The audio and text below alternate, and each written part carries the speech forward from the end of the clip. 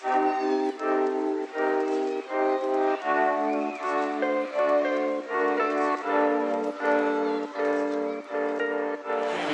last last week as a receiver. He's lined up in a bunch to the right.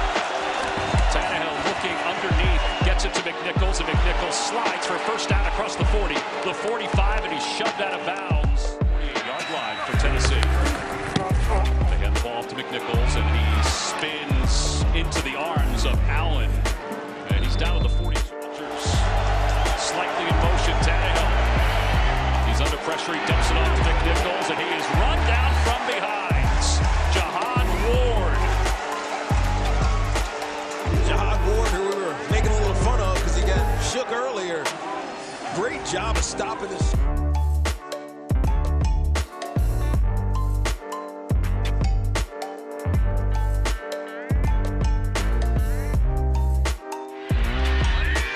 down in the line. Nickel package here for Kansas City Tannehill.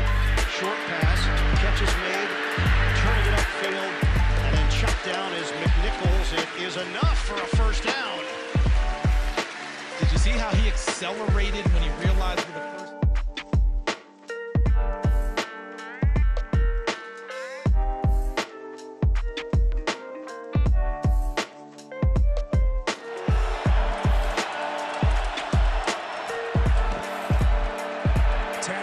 protected. Now here they come.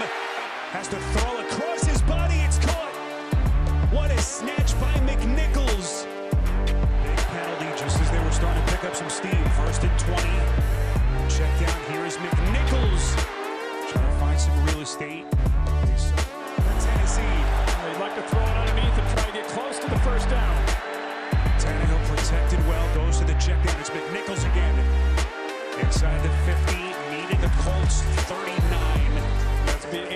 Decision. Fourth and six.